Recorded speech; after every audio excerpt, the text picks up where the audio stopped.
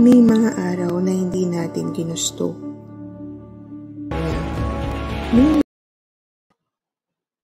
Isang magandang araw po sa ating lahat. Narito po kami, ang Educational Technology Unit upang maglingkod sa ating mga kaguruan, sa ating mga magulang at mga mag-aaral para sa bagong normal.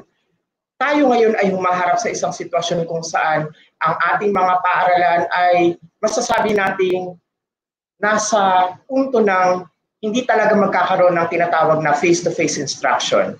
Ngunit, sinisigurado natin sa kagawaran ng edukasyon na education will continue. At ito po ay gagawa ng paraan ng ating kagawaran na maibigay sa ating mga mag-aaral at ganoon din na ihanda ang ating mga kapwa-guro.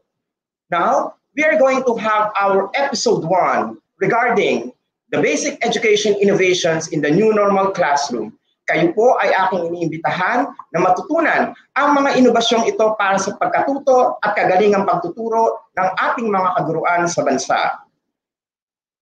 Sa ating ibabahagi sa araw na ito, ito ay napapatungkol sa tinatawag natin na DepEd Commons. Ito po ay inyong napanood kanina.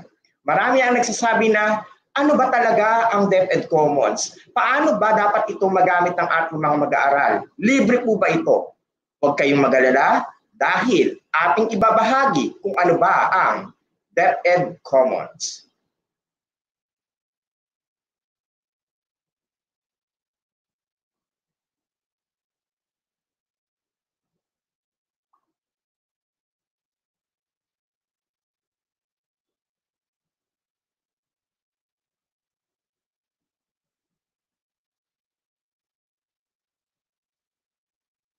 Ang DepEd Commons ang isa sa sinasabi nating isa sa napakagandang inobasyong ginawa ng ating kagawaran. Ito ay nilikha hindi lamang po dahil meron tayong COVID-19 situation sa ating bansa. Ito ay nalikha bago pa man tayo nagkaroon ng COVID situation sa ating bansa. At masasabi natin na ito ay ginamit natin upang maitawid ang mga lessons o mga aralin para makaagapay sa pag-aaral ng ating mga uh, learners. Sila man ay nasa regular track o yung tinatawag natin na mga learners with special needs. Dito sa kagawaran ng edukasyon, sinisigurado natin na ang digital rise ay inclusive. Ito ay kabahagi sa lahat ng mga mag-aaral, sa lahat ng mga guro at mag katuwang ninyo kami rito para magabayan ang ating mga magulang na maihanda sila sa new normal classroom.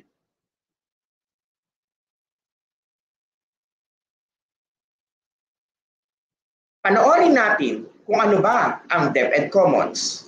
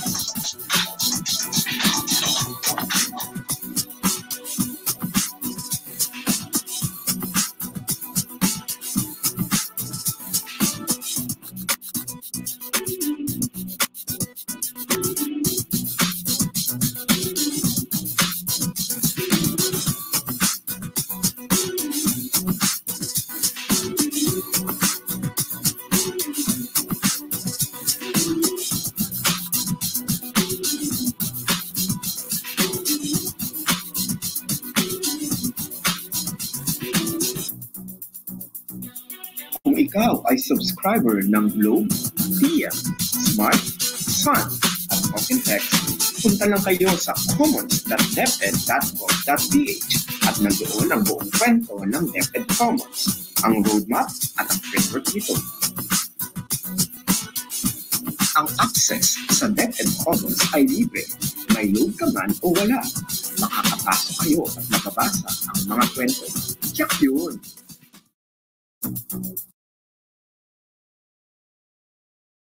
Commons ay isang free access para sa lahat. DepEd Commons will contain open educational resources,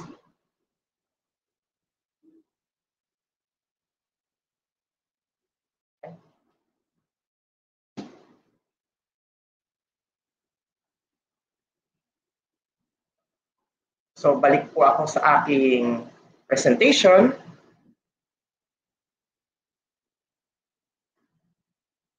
So gaya po ng inyong nakita, ang DepEd Commons ay of free access. So ibig sabihin po nun, ito po ay magagamit natin anytime, anywhere. Now allow me to proceed to my presentation.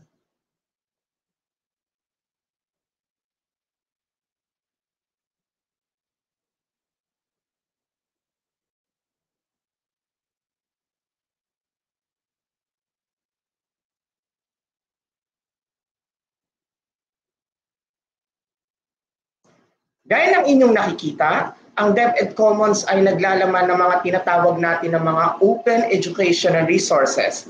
Ito rin ay naglalaman ng mga electronic self-learning modules o mga ESLMs, video at audio lecture episodes. Wherein these are the materials what we call as OERs would definitely help our teachers a lot. At hindi lamang po mga guro, maging ang ating mga mag-aaral. Ang ating DepEd Commons ay ating i-align sa tinatawag natin na mga learning management system kung saan ito po ay kanilang magagamit na makakaagapay sa kanilang pag-aaral. Let me focus on to this thing.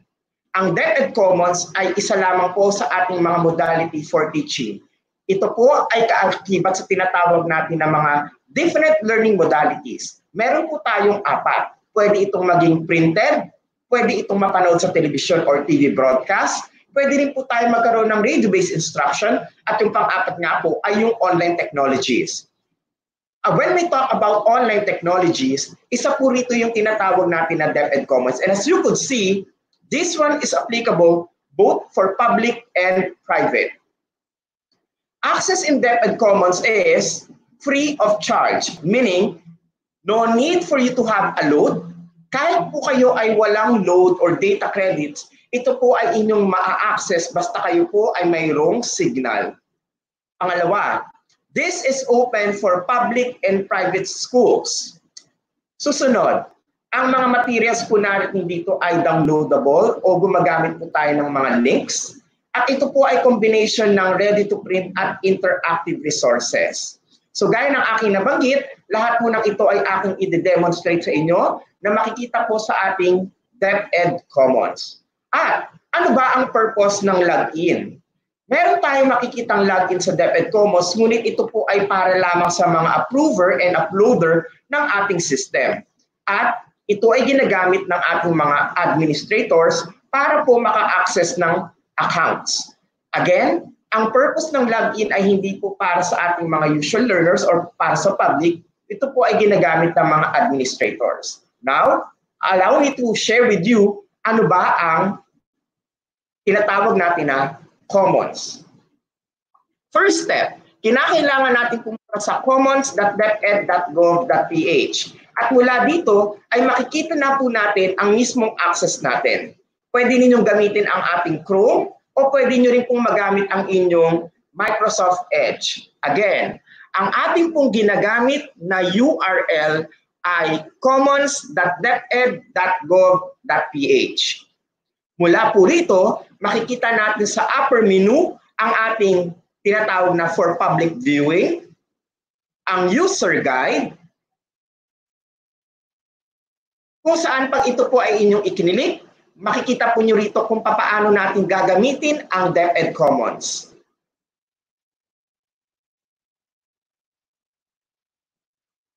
Gaya ng nakita dito, binabanggit na you need to select your school, whether it is private or public. Next is to select or input your school ID or school name.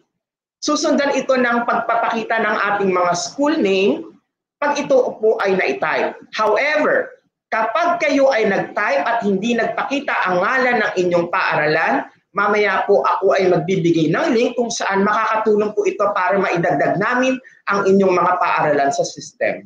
Kasunod po nun, pipili lamang kayo kung kayo ay student o teacher at ilalagay ang full name at ang email address. Sa DepEd Commons din makikita ang tinatawag natin na feedback. Ang feedback ay naglalaman kung sakaling kayo ay may suggestion para mapaghusay pa at mag- mapaganda ang serbisyo ng DepEd Commons. Dito, maaari niyong piliin kung kayo ay estudyante, parent, o guardian.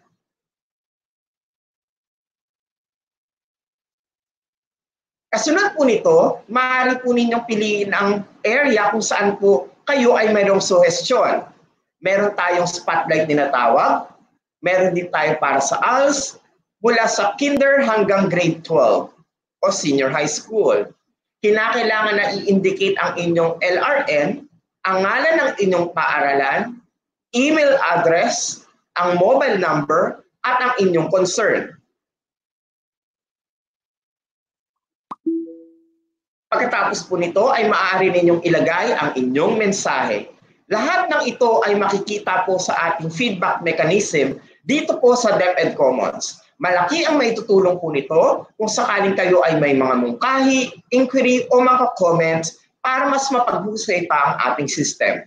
Kasunod po nito, makikita rin sa DepEd Commons ang tinatawag natin na MELC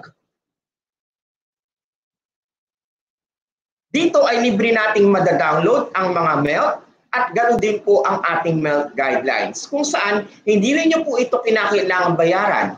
Marami tayong nakikita online kung saan binibenta ang mga MELT modules o ang mga materials kagaya ng MELT guidelines. Dito po sa ating DepEd Commons, ito po ay maaari ninyong i-download ng libre.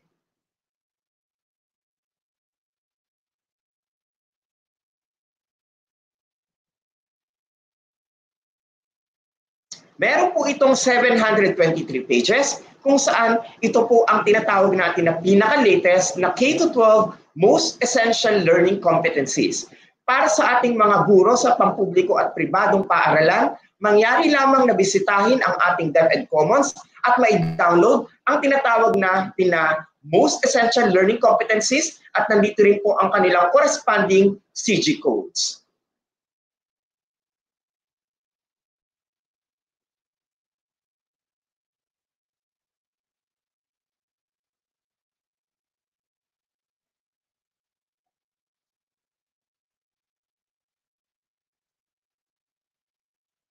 Bumalik tayo sa ating DepEd Commons.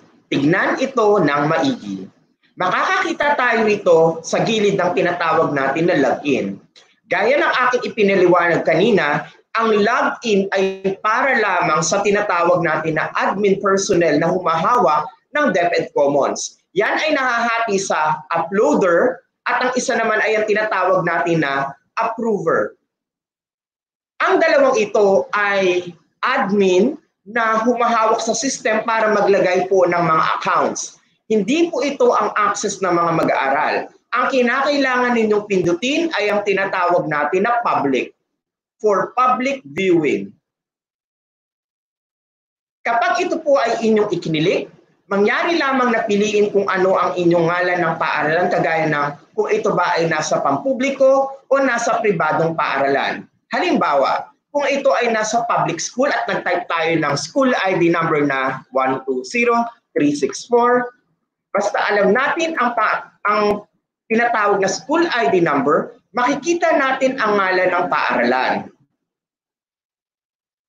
Kung sakali man na hindi natin alam ang school ID number, mangyari lamang na i-type ang ngalan mismo ng paaralan. Halimbawa,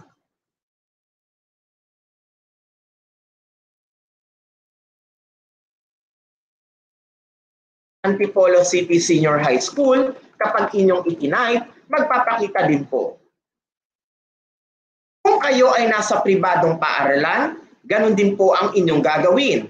mangyari lamang na piliin lamang ang private ay, at i-type ang inyong ngalan ng paaralan. Halimbawa, La Salle Green Hills at magpapakita po kung ano man ang school ID number. Tandaan, kapag private o public, yan po ay na-access pa rin natin ng pareho sa DepEd Commons. Kung kayo ay mag-aaral at ito ay inyong pinili, pansinin ang email. Yan ay magiging optional. Kapag mag-aaral, ang email ay optional. Ngunit kung kayo ay guro, yan ay required. Para sa ating mga magulang na nanonood sa kasalukuyan, tandaan, kapag kayo ay mag-a-access ng ating DepEd Commons, maaring kayo ay ilag maglagay para sa teacher sapagkat tayo ay tutulong bilang mga facilitator sa ating mga mag-aaral, sa ating mga anak. Kaya naman, ito rin ang opsyon na ating pipiliin. Kinakailangan lamang i-type ang ating pangalan. Ganon din ang ating email address.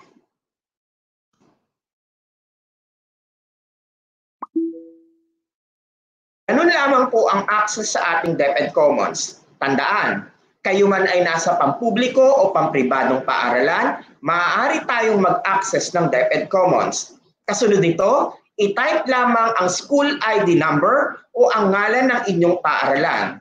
Kasunod po ay ang pagpili kung kayo ay isang mag-aaral o isang guro.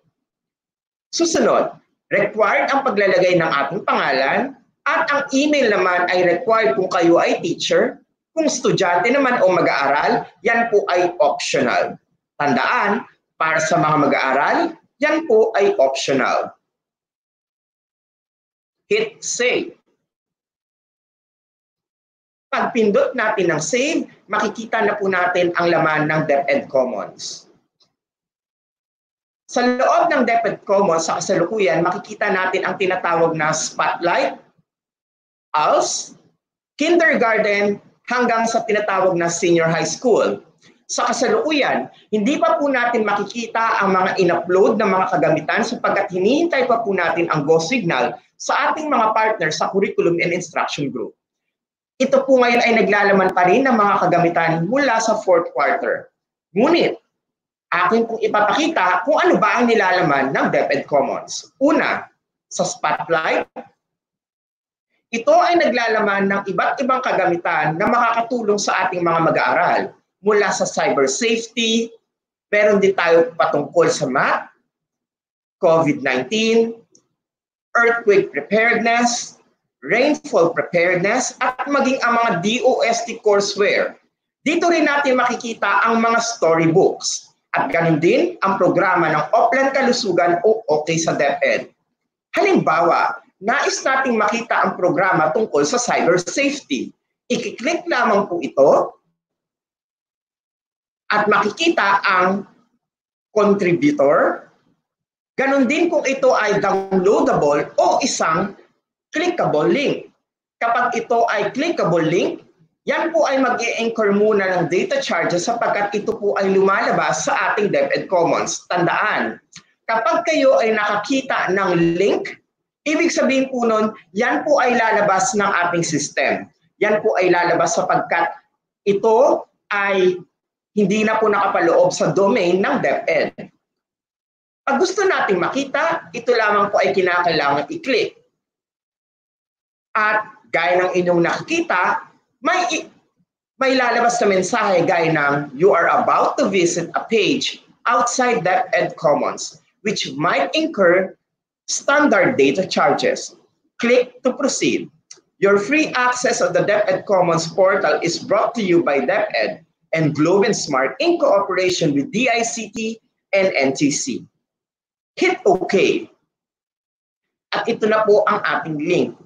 Gaya ng aking nabanggit kanina, sa DepEd Commons, maaari tayong makakita ng mga link at downloadables. Ang link ay mag-i-incur ng data charges kung ito ay lalabas sa domain ng deped.gov.ph.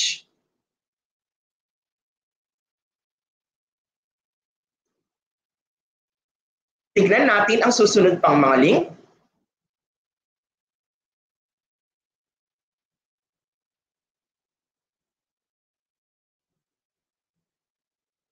The Stairway Foundation Incorporated have shared and has a partnership with DepEd para maibahagi ang course na ito sa ating mga mag-aaral. Kaya naman, para sa ating mga learners, habang tayo ay naghihintay ng pasukan, maaari ninyong bisitahin ang ating spotlight section at tignan ang area na ito tungkol sa cyber safety.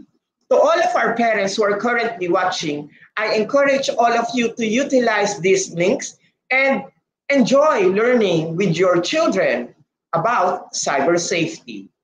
Para naman sa ating mga mag-aaral na nais matuto tungkol sa math, pumunta lamang po sa tinatawag natin na number vendor. Ito ay binigyang buhay sa pagtuturo ni Ginoong Peter Esperanza, si Dr. Peter Esperanza na isa rin pong contributor po natin na kanya pong ibinahagi ang iba't ibang YouTube playlist kung saan maituturo ang math session ng napakadali. Gaya ng inyong nakikita, ito pa rin po ay link. Once click, i-click lamang po ang OK. At kayo po ay mapupunta doon po sa kanyang YouTube page o YouTube channel. Again, tandaan, kapag tayo ay nakakita ng link, yan po ay maaaring mag-incur ng data charges. At habang hinihintay po natin na magbukas ang YouTube link na ito, dumako tayo sa susunod. Ganito po kadami ang mga ikinontribute ni Dr. Peter Esperanza sa DepEd mula sa paksa ng calculus, statistics, trigonometry, algebra, calculus, statistics, at iba pa. Lahat ng mga ito ay maaari nating makita ng libre sa DepEd Commons at ito ay mag-link sa kanya pong YouTube channel. Malaki po ang maitutulong nito para maihanda ang ating mga mag-aaral sa New Normal Classroom. Maaari na kayong mag-advance review gamit po ang mga kagamitang ito.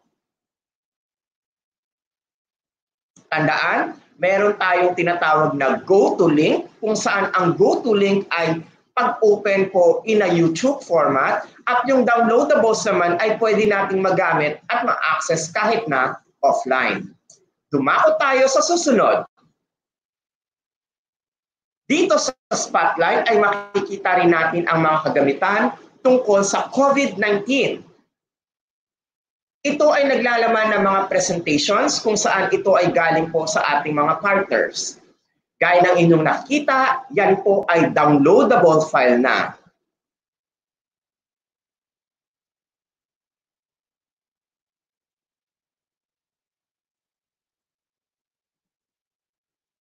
Halimbawa, nais nating malaman kung ano ba ang coronavirus. Maaari ninyong i-click ang download file.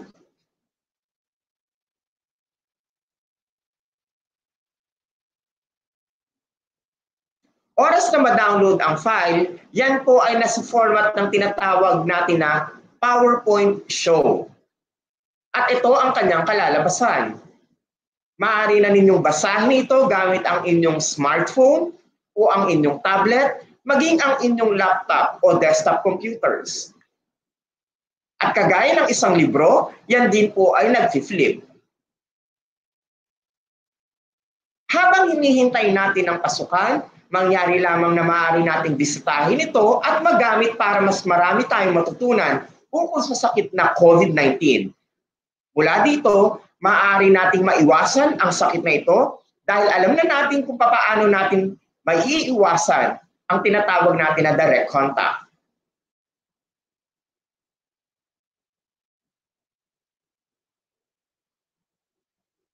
Mayroon tayong napakaraming kagamitan tungkol po sa COVID-19 na maaari po ninyong ma-download dito.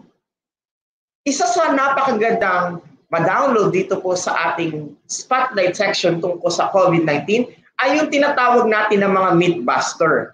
Pag sinabi nating Mythbuster, ito yung mga akala natin. So I'll download that at maaari ninyong umpisa ng pagbabasa tungkol dito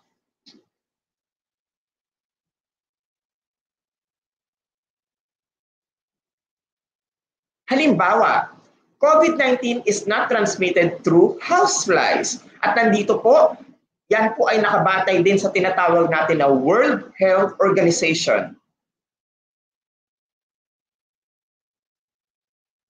Another fact, drinking methanol, ethanol, or bleach does not prevent or cure COVID-19 and can be extremely dangerous. Natural, malalason po tayo. So, yung mga naglalabasan ng mga uh, gamot daw tungkol sa coronavirus o sa COVID-19.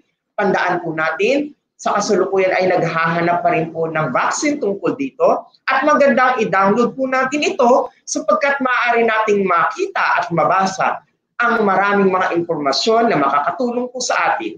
At gaya ng inyong nakikita, this is based from World Health Organization.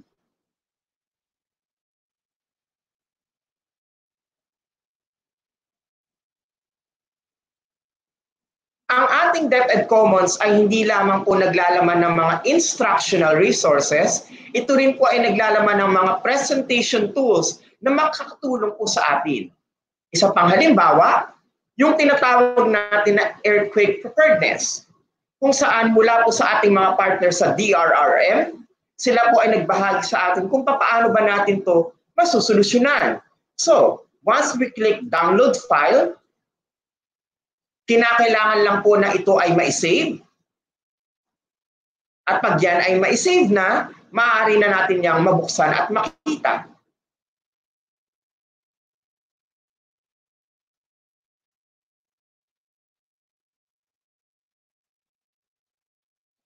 Napakarami nating infographics dito sa DepEd Commons. Lahat ng yan ay maaari nating ma-download ng libre sa mga natitira pang araw bago ang opening of classes, may isang magandang uh, magawa natin ay bisitahin ito at i-download ang ilan sa mga kagamitan na makukuha ang ating interes. At mula dito ay magagamit natin ng maayos ang ating oras at panahon.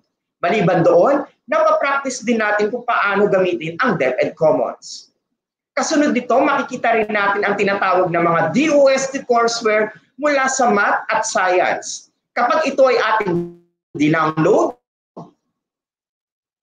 yan po ay kinakailangan patakbuhin gamit ang ating mga mobile devices sapagkat ito ay nasa APK. Kaya, isa sa aking suggestion, gamitin ang inyong mga mobile phone. Sa paggamit ng inyong mobile phone, yan po ay makakatulong para ma-download natin ang mga files na yan. Kung dati, kinakailangan pa natin ang tinatawag na Google Play Store, at online ang access, ito kahit offline ay maaari sapagkat yan ay isang downloadable file. Once click, kinakailangan lang pong isave. Ngunit ang aking ginagamit ay isang desktop computer kaya hindi po yan bubukas. Ang kinakailangan po ninyong gawin ay mailipat yan sa inyong mobile phone para yan po ay mapatakbo at makita. Maliban po sa ating DOST courseware, makikita rin po natin dito ang maraming storybooks. Ang ating pong BLR, LRMS, Reading Treasury ay mayroon pong napakaraming uh, storybooks kung saan ito po ay makikita natin as a downloadable file at isang go-to link. Ano ang pagkakaiba nilang dalawa? Tandaan, aking binanggit kanina na kapag ito ay go-to link, yan po ay nangangailangan ng data charges kung saan ito po ay bubukas gamit ang YouTube.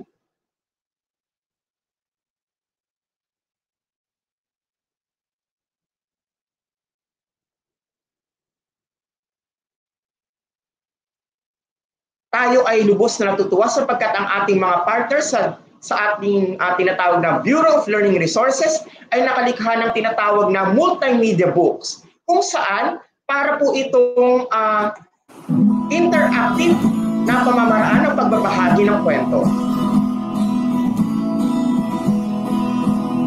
Manood, makinig, matuto. Manood, makinig at matuto. May aral na tilang kwento ng bayan ko. Magandang araw mga bata. Ako nga pala si Teacher Oliver V. Arevalo ng Mabuyuan Elementary School, Schools Division Office of Olongapo City, Region 3. At gaya ng inyong nakikita, ang ating pong DepEd Commons ay naglulup papunta po sa YouTube. Tandaan, ang go-to link, ibig sabihin po nun, bumubukas siya online. Ngunit, hindi natin maiiwasan na may ilang mga mag-aaral na magsabing, Sir Mark, eh, kailangan sana mapatakbo natin ng offline. Kaya naman po, ito rin po ay kakikitaan ng tinatawag natin na download file. Dito po sa download file, oras po na kinilik po yan, yan ay madadownload ng ating mga mag-aaral, ng mga guro, ng mga magulang, at pag yan ay sinave natin at binuksan, mapapatakbo natin ang video kahit na ito ay offline.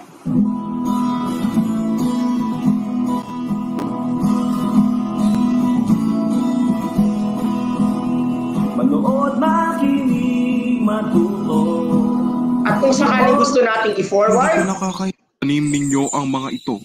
At mula ngayon ay hindi na ninyo kakailanganin pang maglakbay upang humanap ng pagkain. Gaya ng inyong nakikita sa DepEd Commons, maaari nating makita ito bilang isang clickable link at isang download file.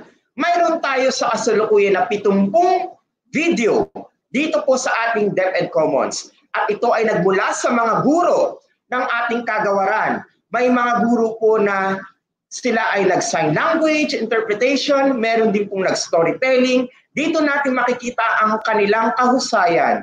Kaya naman sa ating mga manonood, mga magulang, mga mag-aaral at mga kapwa ko guro, punta na tayo sa DepEd Commons at ating bisitahin ang section ng Spotlight at dyan po makikita sa ating storybooks ang ating iba't ibang LR resources o ang mga tinatawag natin na BLR, LRMS, Reading Treasury Materials kung saan yan po ay maaari nating ma-access na downloadable as offline at go to link bilang online.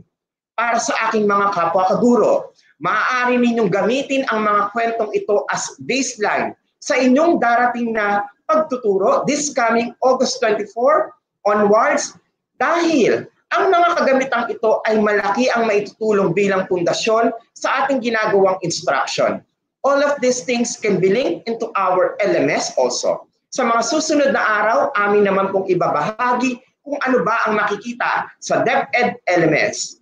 Gaya ng inyong nakikita sa ating DepEd Commons, properly cited ang ating mga kaguruan at kung saan silang division kabilang at maging kung ano ang thumbnail na kanilang ginamit. Tandaan, ito po ay ating inilink mula sa kanilang YouTube channel na ilinilagay po ng BLR. Lumipat tayo sa susunod na bahagi. Dito po ay makikita rin natin ang mga kagamitan mula sa ating alternative learning system. Sa kasalukuyan kami po ay nag-upload ng labing tatlong e-books mula po sa biology subject. Ngunit huwag po kayong mag-alala sa mga susunod na araw, amin na po i-upload ang iba pang e-book material na ito o ang tinatawag natin na ESLM. Ito po yung mga nakaraang materials na nasa PDF format. Ngunit amin pong gagawa ng paraan na ito ay mai-compress para ito rin po ay maging isang downloadable material. Lumipat tayo sa susunod. Gaya ng inyong nakikita sa kindergarten, ang mga paksa ay nahahati sa tinatawag natin na by week.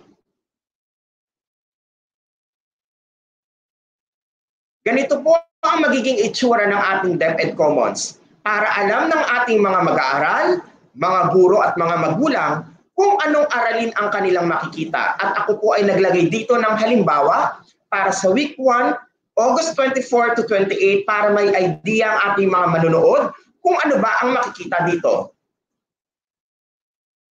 Halimbawa, si Ma'am Norilyn Togenyo ng SDO Palawan, San Juan Elementary School ay nagbahagi po ng kanyang worksheet. Ito po ay atin na pong ni-review at quality assure. Ang kinakailangan na lamang gawin ay i-click ang download file at ito ay buksan.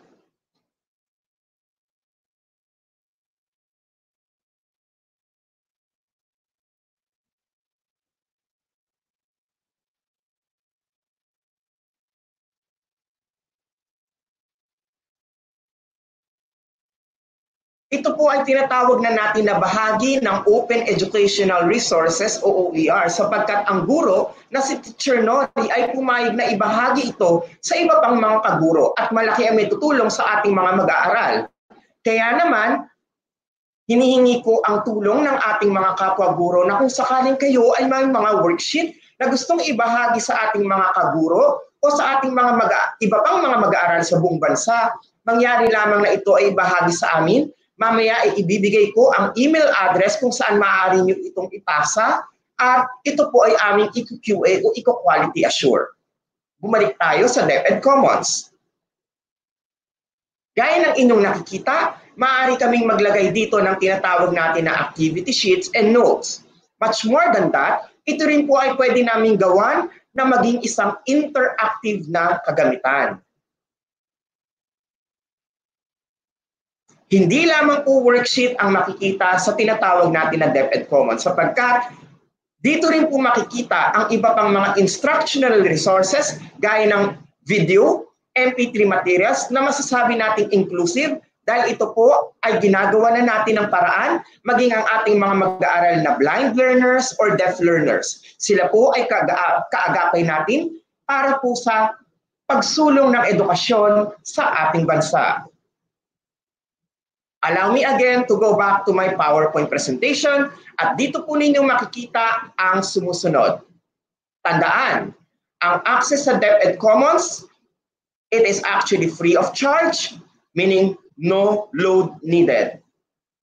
Ito po ay open for public and private schools. Materials are downloadable and with via links. It is a combination of ready-to-print and interactive resources. And the purpose of login, tandaan, yan po ay para lamang sa approver and uploader. Para sa ating mga regular users, kinakailangan lamang po ay mag-access kayo through the public view. At gaya ng aking nabanggit kanina, marami tayong mga instructional resources at nakakatuwang isipin na meron tayong mga guro na lumikha ng instructional video na maaari nating mapanood sa DepEd TV channel. Ito po ang isang halimbawa. Magandang araw! Kamusta? Ako si Teacher Levin. Sa araw na ito, tutulungan kitang maunawaan ang iyong sariling pag-uugali at damdamin. Kasabay nito, mauunawaan mo rin kung paano kontrolin ang sariling pag-uugali at damdamin na ito. Gumawa ng desisyon at magtagumpay sa iyong gawain. Halina! Sa kindergarten.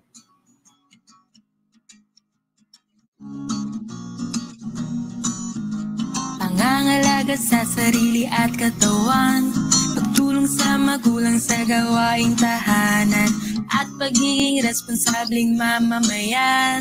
Lahat yan dito matututunan. Kahit wala ka sa paaralan Marami pa rin kaalaman. Halina sa kindergarten Dito'y puno ng kasiyahan.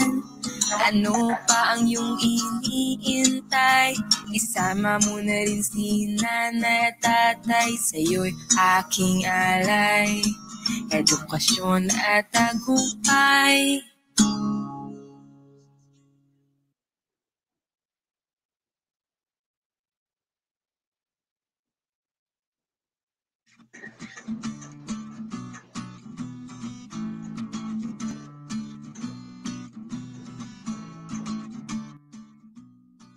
Bago ang lahat, maglaro muna tayo.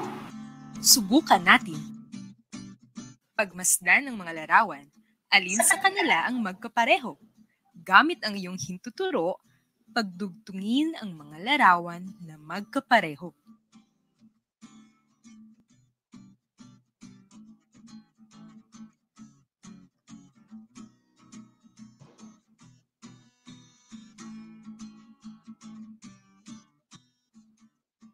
Tingnan natin kung tama ang iyong mga sagot.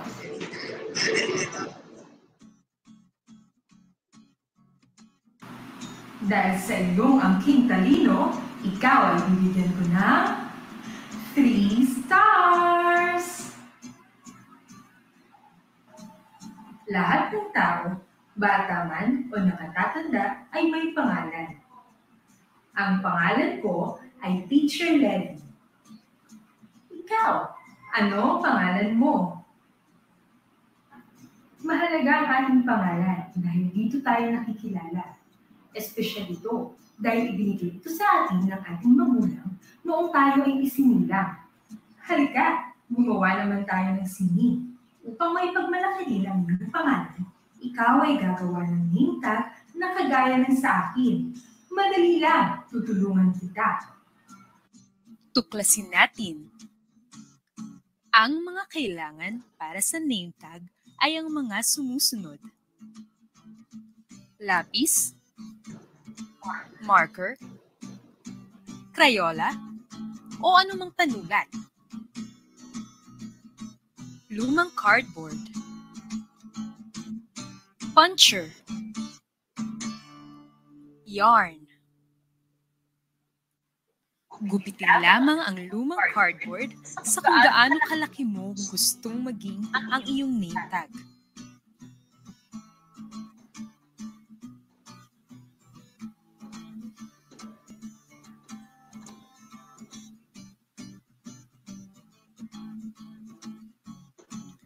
Gamit ang lapis, marker, Crayola, o anumang panulat, isulat mo ang iyong pangalan sa cardboard.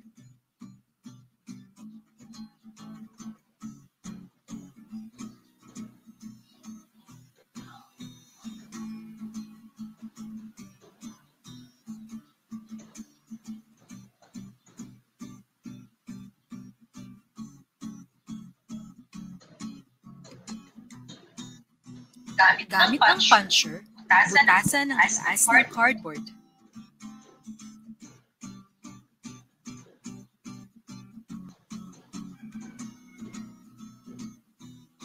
Lagyan ito ng yarn.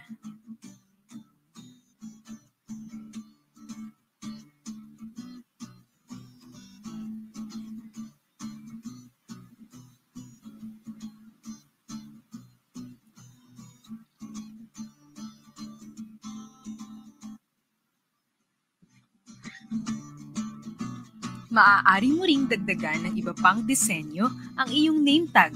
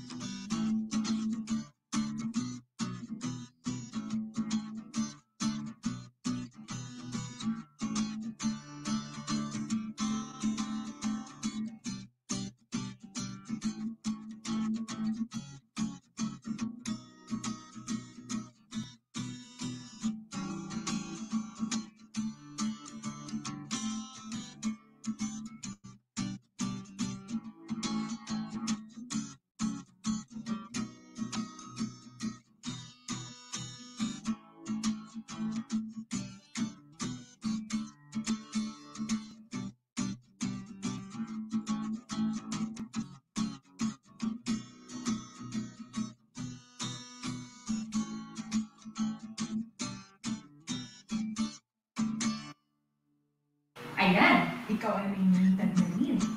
Dahil sa iyong pagiging malikhain, ikaw ay bibigyan ko ng 3 stars! Suriin natin.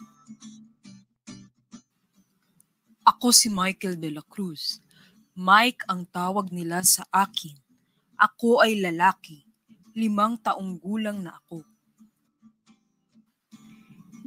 Santos ang pangalan ko. Jean ang tawag nila sa akin. Babae ako.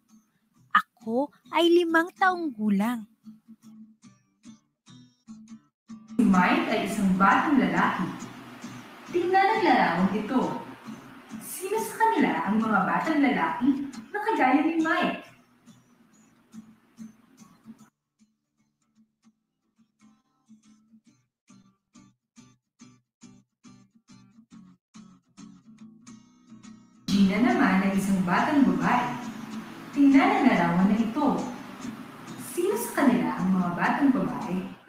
Ni Gina?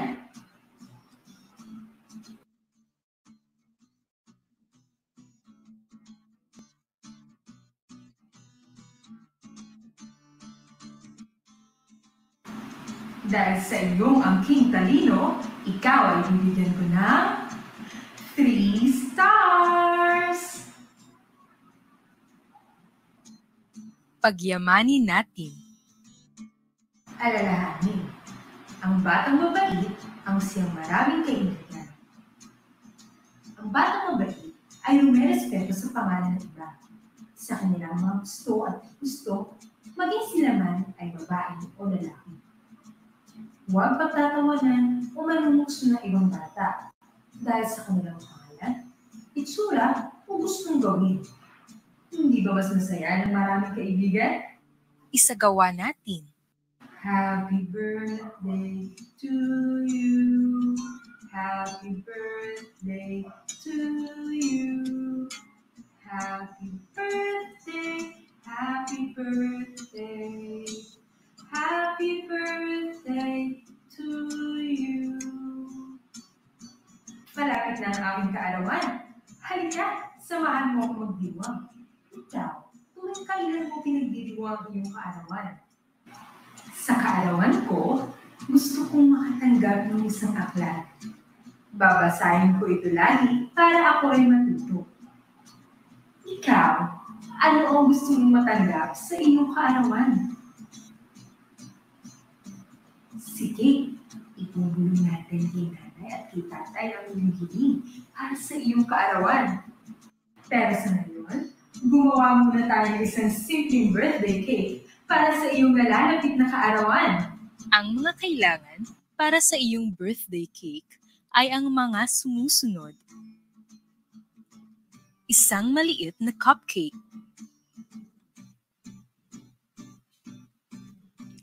Mga pangdisenyo kagaya ng maliliit na candy at tsokolate.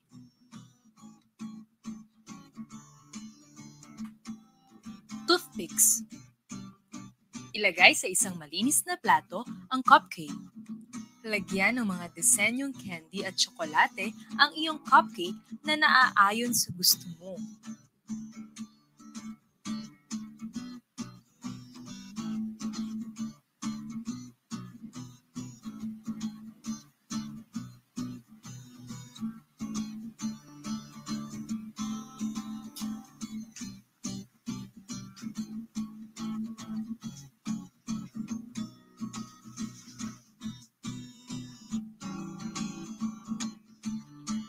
Magtusok ng bilang ng toothpick na kapareho ng iyong edad.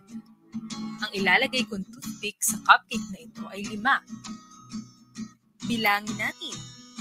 Isa, dalawa, tatlo, apat, lima.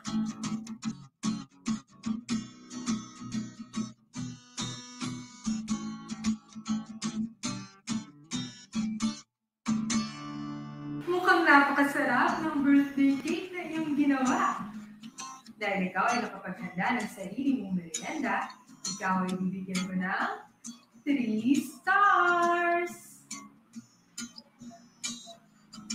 Isang makabuluhang araw na naman ng pagkatuto ang nagdaan.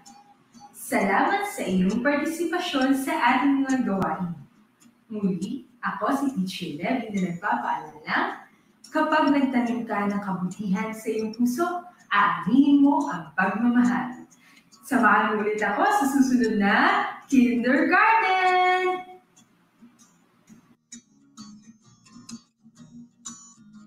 Pangangalaga sa sarili at katawan Pagtulong sa magulang sa gawaing tahanan At pagiging responsableng mamamayan Lahat yan dito matututunan kahit wala ka sa paaralan, marami pa ring kaalaman.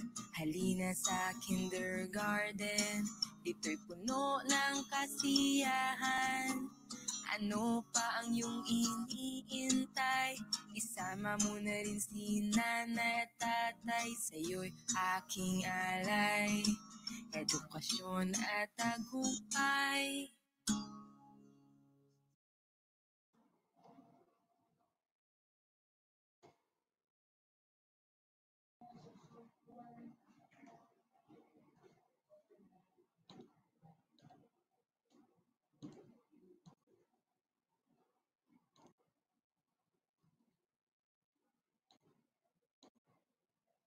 Gaya ng inyong nakita, ang ating pong uh, isang guro na si Teacher Levin, siya po ay nagbahagi sa atin ng isang kagamitan na magagamit ng iba pang mga mag-aaral. So meron tayong tinatawag ng mga teacher broadcasters. At mula dito, yan po ay papasok sa susunod natin na learning modality. Tandaan, ang ating ipinakita sa kasulukuyan ay ang tinatawag natin na DepEd Commons. Ang DepEd Commons ay libre, hindi ninyo kailangan magbayad. At ito ang kinakailangan lamang ninyong gawin. Pumunta sa commons.deped.gov.ph at yan po ay mayroong dalawang access. Kung kayo po ay mula sa pampubliko o pampribadong paaralan. Kung kayo po ay galing sa public school o private school, ang kinakailangan lamang gawin ay i-type ang school ID number o ang pangalan ng inyong school. Pagkatapos po nun, susundan po ito ng pagtatanong sa atin kung tayo ba ay student o teacher. Pag student, tayo po ay hindi required na magbigay ng email address, ngunit kung tayo ay teacher o magulang, required po tayong mabigyan ng tinatawag natin, magbigay ng email address. At pag tayo ay naka-access na, ito pong mga klase ng kagamitan na ito ang inyong makikita. Pwedeng downloadable worksheet, pwedeng instructional video, mga PowerPoint presentation, interactive ESLM o yung tinatawag natin na e-book format materials, lahat ng yan ay makikita po sa ating DepEd Commons. Ngunit, hindi natin maiiwasan na may ilang mga kaguruan at mga mag-aaral magsasabing, Sir, ilang beses ko nang inaccess ang commons.deped.gov.ph pero hanggang ngayon, hindi ko nakikita ang aming paaralan huwag kayong mag-alala sapagkat akin pong ibabahagi sa susunod na screen ay yung link naman na gagamitin natin kung sakaling wala tayo doon sa DepEd Commons. Okay? So, tingnan po natin ito.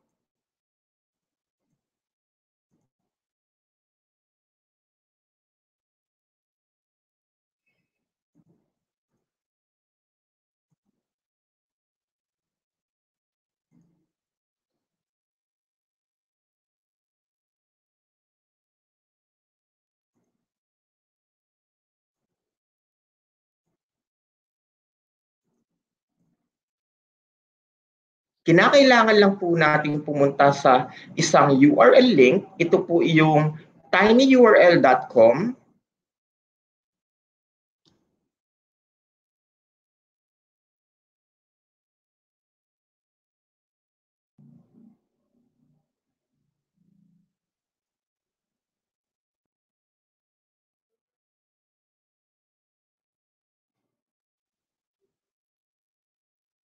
Ilalagay ko lang po yung link. Tapos, susundan po natin to ng slash at for DepEd Commons. Tandaan, tinyurl.com slash for DepEd Commons. Ito ay gagamitin po natin na link kung sakaling ang inyong paaralan ay wala po sa listahan ng ating DepEd Commons. Kaya ito po ang nakalagay ha, DepEd Commons School List Submission Form. This form is applicable only for schools not yet included in the DepEd Commons. Kung sakaling pag-type ninyo ay eh, nakita naman po ninyo na nandun yung school ninyo, hindi na po ninyo need ito o hindi na po natin kailangan. Para lamang po ito dun sa mga paaralan na hindi pa rin po kasama sa DepEd Commons, whether you are in a public or private school. Una, ilagay ang inyong email address. Pangalawa, banggitin lamang kung saan kayong rehiyon kabilang. Region 1, Region 2, CAR, Region 3, NCR, 4A, 4B, Region 5, Region 6, 7, 8, 9, 10, 11, 12, Caraga, at BARM. Piliin lamang kung saan kayong rehiyon. Kasunod po nun, ilagay kung saang division. Pagkatapos pong ilagay kung saang division, sunoddan po natin ang paglalagay kung saang distrito o municipality po ito. At i-indicate kung ano ang inyong barangay. Kasunod po nito, ilagay kung kayo ba ay nasa private o public school. I-type ang kumpletong pangalan ng inyong paaralan. Tandaan, kumpletong ngalan ng inyong paaralan at ang inyong school ID number. Importante na alam po natin ang school ID number. Lahat po ng DepEd registered school sa buong bansa ay may school ID number. Pagkatapos na mailagay lahat ng mga impormasyon, i-click lamang po ang button na ito, yung submit button, at yan po ay aming ipoproseso isang araw o maximum na po yung tatlong araw at makikita na po ninyo ang inyong paaralan sa DepEd Commons. Tandaan, kung sakaling hindi po natin ma-access ang ating commons dahil hindi natin makita doon ang ngalan ng ating paaralan o kahit i-type natin ang school ID number, pumunta lamang po kayo sa tinyurl.com slash for DepEd at ito po ang link na makikita po ninyo. Yan po ang access at pagkatapos po ng isa o tatlong araw ay magagawa na po namin kayo ng access or 1 to 2 1 to 3 1 to 3 days po magagawa na po namin yan ng access at maaari na po ninyong mabisita ang commons.deped.gov.ph. Tandaan, kung sakaling kayo po ay may mga contribution kagaya ng worksheet, na ibinahagi po namin, gaya po ni Ma'am Norilyn Togenyo ng SDO Palawan, o mga instructional video, kagaya naman po ng likha ni Teacher Levin mula sa SDO Bacoor City, yan po ay malugod po namin tatanggapin at makikita nga po ninyo sa ating DepEd Commons na ang mga lessons ay naka-arrange o nakaayos by week para magabayan ang ating mga guro, ang ating mga mag-aaral at ang ating mga magulang. Lahat po ng ito ay bahagi ng tinatawag natin na programa ng Digital Rise. So sa ating pong mga manonood, marami sigurado ang nag-iisip at nagsasabi na, naku, ngayon lang yan ginawa ng DepEd kasi may COVID situation. Para po sa kaalaman ng lahat, hindi pa po nagkakaroon ng COVID-19, ito po talaga ay nakalinya na. Ito po ay nakaplano na. Meron po tayong tinatawag na Cyber Expo. At doon po yun nagsimula lahat. Sa Cyber Expo, yan po ay aking ibinahagi bilang huling plenary speaker. Kakatapos lang po ng aking operasyon uh, that time. Ngunit ako po ay naglakas ng loob na tumayo sa harap ng sa harap ng entablado at ibahagi sa mga manonood ano ba ang programang ito. At nais kong ibahagi sa inyo ngayon ano ba ang kabuuan ng Digital Rise Program. Panoorin po natin ang video nito.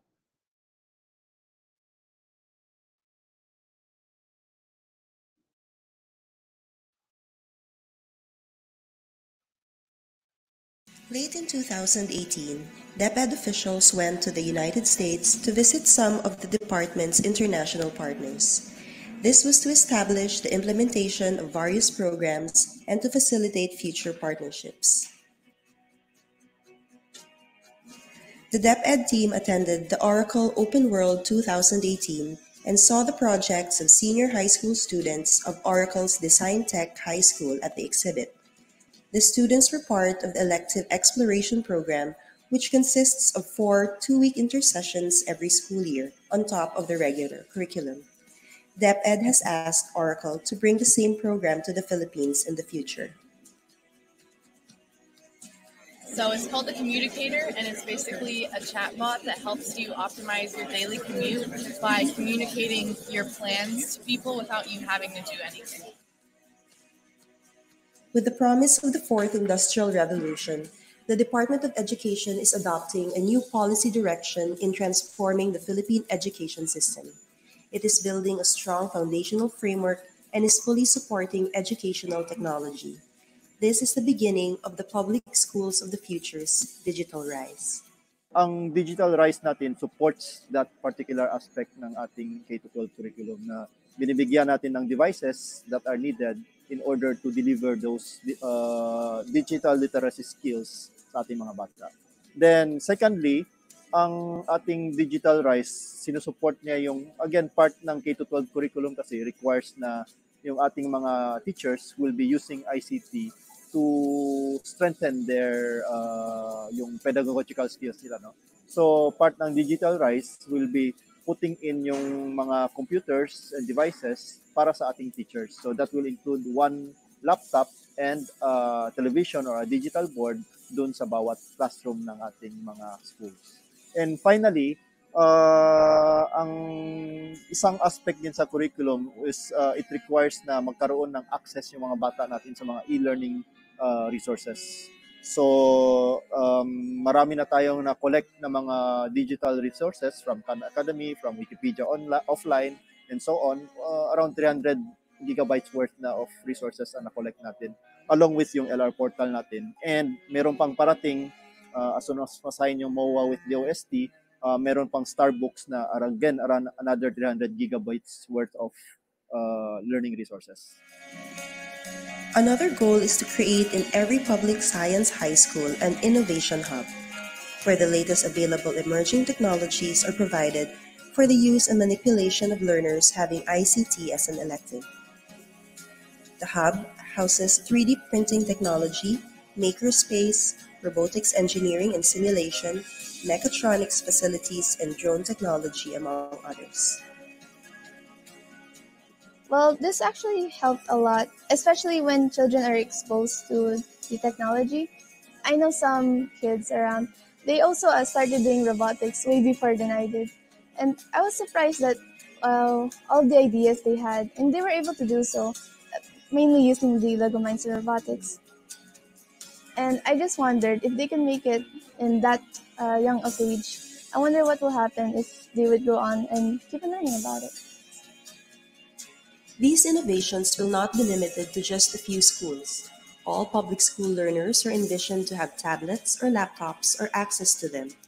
The transformative learning in using these educational devices enhances the 21st century skills of learners and bridges the digital divide most especially in the last mile schools who are not exempt from the digital rise.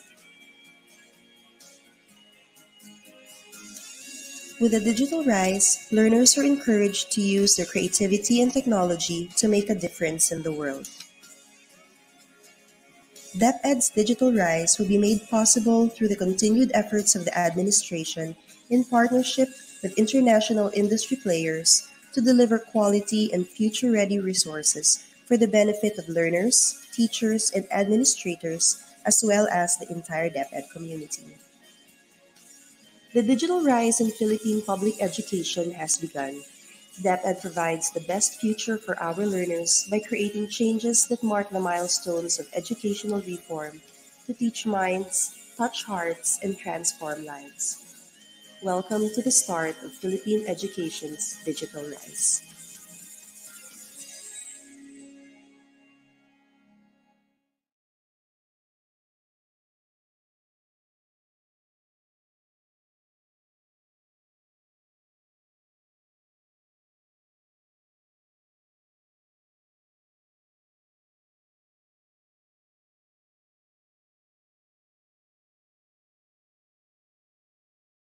For teachers, for learners, for parents, for all of us.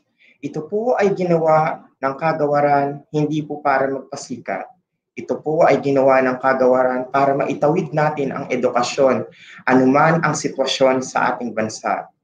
Yan po ay nilikha o ginawa, wala pa po ang COVID-19. Yan po ay inilay na po natin. At bilang kabahagi ng administrasyong ito, we will make sure that education will continue. Everything will work well. At ang ating ibinahagi na DepEd Commons ay isa lamang po sa modality ng ating new normal classroom. With this episode tungkol po sa DepEd Commons, sana ay natutunan natin at naunawaan paano po ba ito ginagamit, kung paano ito makakatulong sa ating mga mag-aaral. At sa mga manonood natin ng mga magulang, huwag po kayong matatakot sapagkat dito po sa tinatawag natin na New Normal Education, tayo po ay magkakasamang tutulong para po magabayan ang ating mga anak ang ating mga mag-aaral na sila ay matuto, na sila ay magpusid pa rin sa pag-aaral na hindi natin kinakatakot ang kanilang kalusugan sapagkat pwede silang ma-expose sa COVID-19 dahil hindi natin papayagan ang face-to-face instruction. But rest assured that the Department of Education will do everything, will do its best para maipagpatuloy ang kanilang pag-aaral. Sa mga hindi pa po nag enroll Nakita po ninyo kanina kung paano po itatawid ang pagtuturo. We will be having instructional videos to be aired via TV, to be aired also para po sa tinatawag natin na radio-based instruction at ito rin po ay madadownload sa tinatawag natin na DepEd Commons. Tandaan, ang DepEd Commons ay libre kaya kahit po gumagamit kayo ng mobile phone, it is useful. However, sa mga mag-aaral naman po na sinasabi natin na talagang walang access sa mga devices, huwag po kayong mag-alala. Ang ating pong local government units ay gumagawa ng paraan para po ito ay mabigyan ng solusyon. Para po tayo ay matulungan lahat. Dahil ito ay pagtutulungan hindi lamang po ng DepEd, it is a collaborative effort of all of our stakeholders, the business sectors, the private institutions, and even our own government offices. Ang kinakailangan lang po natin ay magtiwala. Tandaan, ang DepEd ay patungo na sa tinatawag natin na digital rise. Sama-sama tayo dito. Kaya naman po, akin kayong iniimbitahan sa mga susunod pang episode ng ating professional development program dito po sa ating DepEd TV channel. Mabuhay po tayong lahat.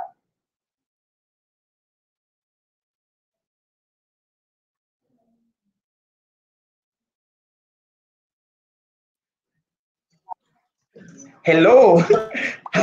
hirap na hirap ako sa kasi yun. So magkakaroon tayo ngayon ng cut-cut. Sigurado yung mga nanonood sa atin nagulat, bakit ganun si Sir Mark masyadong seryoso? Actually po, yun po ay i-air sa TV. Yung naka-record Kinakabahan ako. May, may mga parts na nagbakel, but of course, hindi natin maiiwasan yun at gagawin na lang po yun sa editing. So sa ating mga manonood, ito po ang aking request sa inyo please try accessing DepEd Commons. Bakit po? Currently, we have monitored that we have 8 million subscribers or 8 million users na kailangan po na i-access po natin ito. Pwedeng sabihan na natin ng ating mga students o mga mag-aaral o mga magulang, pwede po bang i-access na natin to? Dahil dito po makikita natin kung gaano siya ka-stable. Kinakailangan malaman namin kung kayang-kaya na po ba ito ng server. Dahil hinahanda natin ang August 24 opening. At dahil ng aking nabanggit, we will make it a point that it will be inclusive para po sa ating mga regular learners, para sa ating mga uh, deaf learners, maging sa regular learners, handang-handa na po ang DepEd para po dyan at nakalinya na po ang mga programa. Kaya ang Q&A ay atin na pong bubuksan. If ever our participants have questions regarding our very first episode, ayan, makikita kayo sa TV pag nag-plus sa screen. Ever yung tanong tungkol sa DepEd Commons, maaari po kayong mag-message via uh, FB, mag-chat lang po kayo or via YouTube. Ayan, tayo po ay napapanood ngayon sa EdTech Unit sa YouTube at Ganon din po sa DepEd Philippines. So maraming maraming salamat sa inyong suporta. Again, sa ating mga manonood, with our very first episode about DepEd Commons, in case you do have questions, feel free to message us and we will try our best to answer your queries. Sir Buds, kamusta? Eto sir, so uh, napaka, medyo natutuwa ako sir kasi talagang tayo sa kagawaran ng edukasyon ay handang-handa na sa paparating na new normal in education na tulad niya kanina ng discussion ko sir no na parang talagang sinabi natin itong ating DepEd Commons, itong ginagawa natin hindi ito biglaan dahil nagka-COVID. Ito ay nakaplano. Napaaga lang siya dahil nga sa hinihingi siya ng sitwasyon. So ayan Sir Mark, siguro pwede na tayong sumagot. From Ma'am Danica Kaugiran Alvarado, ano po pinagkaiba ni LRMDS at DepEd Commons? Our first question, Sir Mark. Maraming salamat po Ma'am Danica sa inyong katanungan. Ano ang pagkakaiba ng LRMDS sa DepEd Commons? Una, ang LRMDS, pag kayo po ay nag-access, yan po ay para lamang sa mga guro because the materials are meant for teachers. That's the very first thing that we need to remember. Ang DepEd Commons ay para sa mga mag-aaral, para sa mga guro, at para sa mga magulang because it is under the Open Educational Resources o yung tinatawag natin na pagsunod sa UN Declaration of Paris ng 2012 tungkol sa OER. So ito po ang tugon ng ating bansa tungkol po doon. Pangalawa, ano ang kanilang pagkakaiba? Kapag tayo po ay gumamit ng access as teachers, utilizing our DepEd account, lahat makikita sa LRMDS. But if you are a private school or private individual na gumamit ng regular account, pag login mo sa LRMDS, only selected materials are seen. Sa DepEd Commons, dahil yan nga po ay OER, kung ano ang access ng private, yun din ang access ng public. Balik na rin ko. Kung ano nakikita sa public schools pag nag-login ang deped.gov.ph, yun din ang nakikita para sa ating mga private schools. Kaya wala po silang uh, pagkakaiba regarding it. Hindi po siya nagkakaroon ng uh, paghahati. Pangatlo, ang mga kagamitan po sa LRMDS ay dumaan po sa tinatawag natin QA process ng EDUs. Ang ating pong uh, DepEd Commons, dumaan din po sa QA process. Ngunit ang pinagkaiba po nito, anyone can contribute. Kung sa LR portal, yes, pwedeng anyone can contribute but take note, alam natin to na nag-contribute ka, pagdating in the end, hindi mo makikita ang pangalan mo. Sometimes it is deleted. Sometimes it is revised. Hindi ko sinasabing pinapalitan, but yun po ang nakikita ng ating mga kabuuan. So, that focus po ang ating gagawin kung ano ang ibigay, i-QA, yan po ang inyong ownership, pero tatanungin namin, pwede ito mabahagi sa iba pang mga tao dahil ito po ay pwedeng ma-download ng mag-aaral at ng mga guro. So through that, yung iyong tinatawag natin na contributorship, hindi po natin aalisin yon. At kung meron pang gustong mag-QA mag-edit, makikita natin ang mga pangalan nila. Halimbawa ako, lumikha ako Ako doon, pero sabi sa amin, sir, mukha yatang dapat in-edit and we revise that one at the QA. Kung yung QA na mas QA pa, in-enhance the content, then we will be having another name there. So, ganun po ang proseso ng ating Aside from that, ang ating LRMDS ay tinatawag nating Learning Resource Management System. Ibig sabihin, puro sa learning resources. Ang DepEd Commons ay nasa forward technologies. Pag sinabi natin forward technologies, nakabangga siya sa isa, sa isa pa pong tinatawag natin na format ng software. Yun yung learning management system. Kaya bangga ng dalawa kung si LRTS one direction, one one, path, ang CMS, ang ating pong uh, DepEd Commons, side to side po siya ng tinatawag natin na learning management system. Okay po? So I hope nasagot ko po yun. So in case we do have another question, please feel free to message us. Ayan. Ayan sir, meron tayong follow-up uh, question dito sir. Um, yung po bang mga na-download sa sa na learning na learning learning materials po sa ating uh, DepEd Commons, pwede bang i-edit ng magda-download at magamit ng iba? Yes, actually ang ating pong ilalagay po doon ay naka-PDF format. Ang mangyari, ang pwede ko pong banggitin, kunyari naka-PDF siya.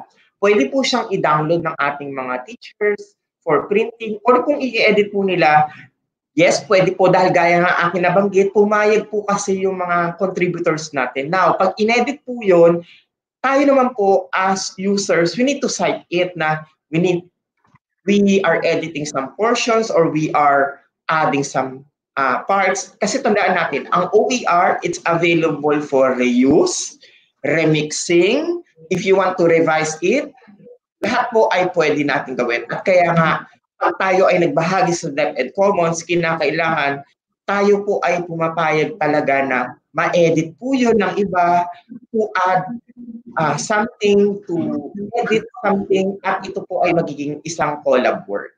Okay? So, salamat. Ayun. So, talagang linaw sa atin na all of us can edit basta we need to take into consideration yung talagang original writer. Bigyan natin ng credit. So, our next, third question for this session, Sir Mark.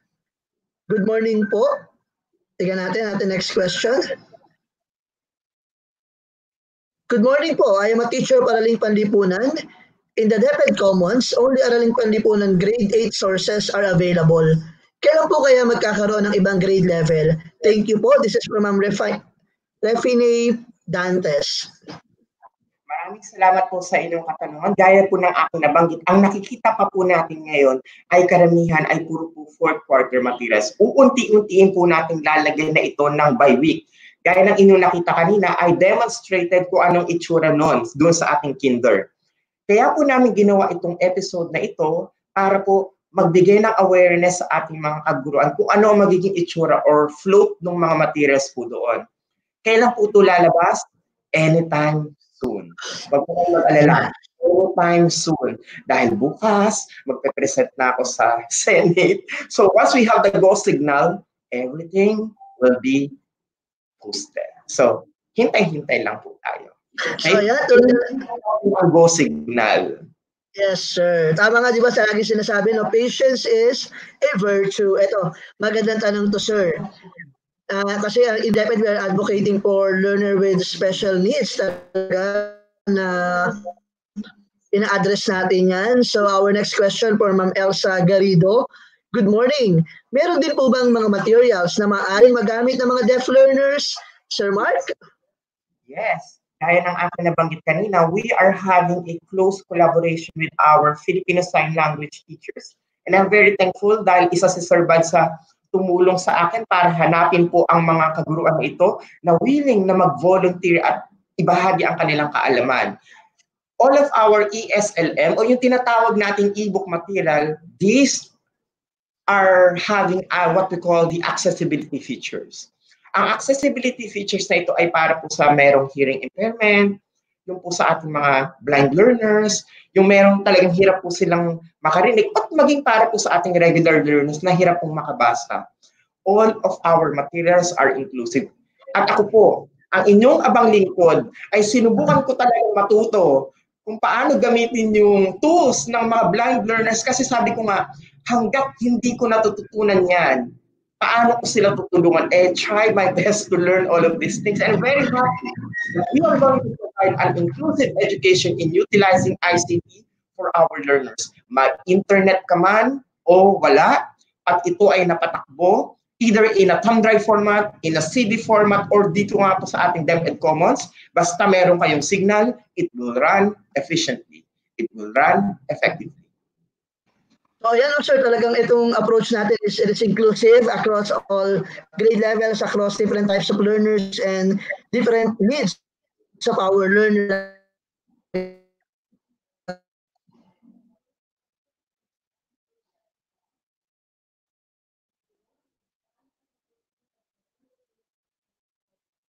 Ayan, so we now have another question coming from John Christian Vlogs. Sabi po niya, good morning po paano po mag-contribute ang magurong tulad ko sa DepEd Commons? Thank you. If you're a teacher, whether in public or private, kinakailangan lamang po ay uh, ipadala ito sa tinatawag natin na email address ng oer at deped.gov.ph to our uh, uh, webinar director, kindly flash it na lang po sa ating screen. Tandaan, sa mga gusto pong mag-contribute, yan po ay kinakailangan lamang pong ipadala or i-email sa oer at deped.gov.ph. Ngunit, kinakailangan ito po ay melt aligned. Ang amin pong tinatanggap sa kasalukuyan ay first quarter materials.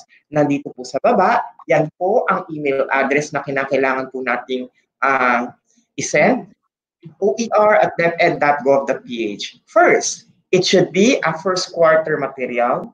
Second, it should be aligned with MELT. Third, it should be in an editable format. Bakit po editable? Para po ma-QA po namin. Kasi kapag yan po ay naka-final format at nakakita po kami ng needed uh, information na kinakailangan natin i-edit, eh, mahihirapan po ang proseso, magbabalik-balik. So, please just send an editable version kagaya ng Word document or PowerPoint document na pwede pong ma-edit. Number four, it will go to a stage of enhancement. Kaya po, importante talaga na editable siya. So, tandaan, first quarter, allied with melt, editable.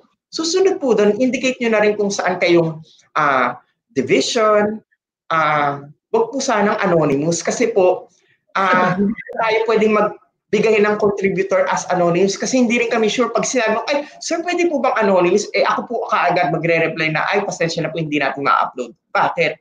You need to be proud of your work. Uh, yes. if you want to contribute we need to indicate our name. Kaya nga po sabi ko hindi namin binubura yung pangalan kung sino yung nag-contribute. Kahit po yan ay na-edit or na-enhance.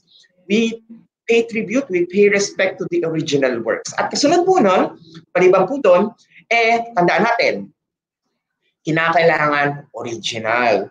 If you are using pictures, uh, punta lang po kayo sa Creative Commons side ng Google na pwede natin i-reuse yung mga pictures. And through that, eh maaari po natin yung ma-share. Yung ma- maiiwasan natin yung copyright infringement na tinatawag.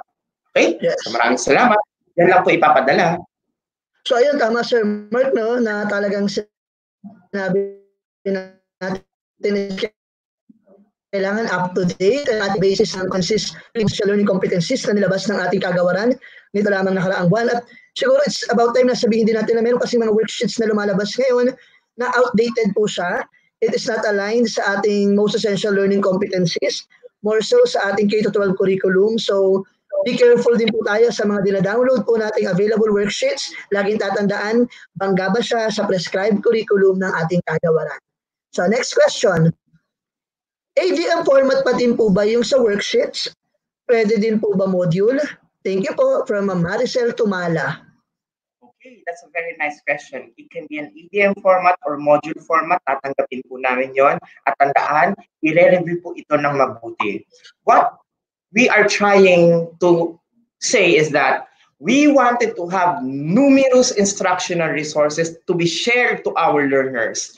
Dahil alam natin, hindi lahat ay may libro. Ngunit ito ay makakatulong. Gaya ng inyong nakita kanina sa presentasyon namin, Teacher Levin is sharing an instructional video.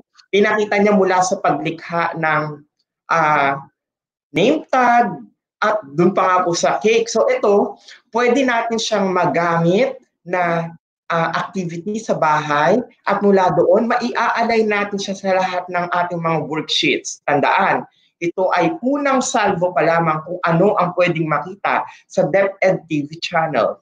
And with that, ito po ay ibabahagi natin. We will also commend uh, best works, kagaya ng mga teachers na nagbabahagi ng worksheets. Isha-shout out namin kayo doon sa sa TV channel na yun, huwag kayong mag-alala. Yes. So ayun, no, sir, talagang naalala ko na nag-discuss po kayo ng new normal in education, yung preparation of the teachers, talagang sinabi doon, we are trying to build a rockstar teacher na talagang ready sa challenges ng pandemic na ito and it can be about, it can be in a form of TV, radio, is Yes, tama ka doon, Sir Bal. So, tandaan po ah, ang ating pong ipinakita sa araw na ito ay ang tinatawag natin na DepEd TV channel at ang DepEd Commons. Marami sa ating mga pamilya ngayon ang mayroon pong television. Kaya gagamitin natin yung TV as a way of instruction. So sa ating mga uh, participants sa webinar na ito, i-announce namin kung anong araw i-air sa TV yung kaninang session natin, yung season 1, actually episode 1 ng ating uh, uh, ipinalabas kanina. Dahil meron po tayong in season, o di ba? Para tayo na sa Netflix, no? We have season 1. So in season 1 ay tungkol po sa DepEd Commons, DepEd LMS, DepEd webinars, at lahat po ng ito ay makakatulong para malaman ng ating mga kaguruan ano ba ang mga professional development program na ating ginagawa. And through that, dyan din po nakaangkla ang ating mga uh, lessons na ilalagay po natin sa TV channel. So we have our next question from Ma'am Lizelle. From Ma'am Lizelle Bangahon Serando. Good morning po. As lang po kasi sa milk, wala po kami nakikita sa cookery grades 9 and 10. Ano pong gagawin namin dyan? Salamat po.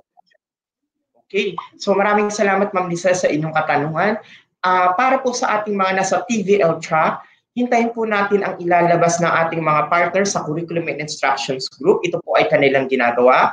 To give you also an idea, uh, talaga ako na nagsabi, we are working closely with our partners na may kinalaman po sa cookery at Malay nyo, isang araw mapapanood ninyo mismo sa DepEd TV channel yung mga paksa na ito tungkol sa cookery.